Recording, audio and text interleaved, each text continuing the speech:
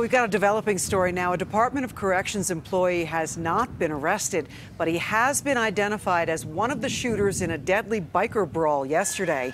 One person died, others are still in the hospital after a fight between two motorcycle clubs. CBS 4's Jeff Todd has been covering this story since it started yesterday. And Jeff, police still aren't saying much. Kathy, Denver police say they are investigating, but the two motorcycle clubs in question have very different stories of what happened inside this complex.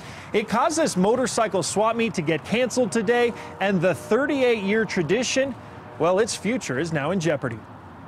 Well, right now, the Mongols are concentrating on one thing, and that's mourning their brother. The attorney for the Mongols says the incident Saturday afternoon was started by the Iron Order, a club with some law enforcement members. The Iron Order says three of their members were hospitalized. One Mongol member died, and four more were also taken to the hospital. None of the Mongols even had a firearm on them. CBS 4's Brian Moss first reported one shooter works for the Colorado Department of Corrections. Denver police say they are investigating how many people fired guns, implying there was more than one shooter. You are not going to find one Mongol gun on this entire crime scene. No Mongol bullet was fired. Not one. We, we hope that the Denver Police Department is going to give them a fair shake on this.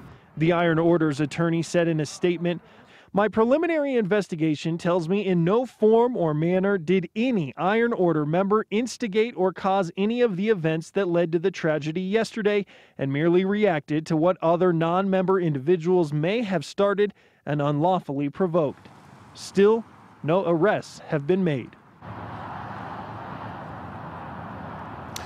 Tonight, the Department of Corrections said they are not releasing the identity or the specific job duties of the employee involved. They say they don't want that to interrupt the investigation being put on by both the Denver Police Department and the District Attorney's Office. Live in Denver tonight, Jeff Todd, CBS 4 News. Thank you, Jeff.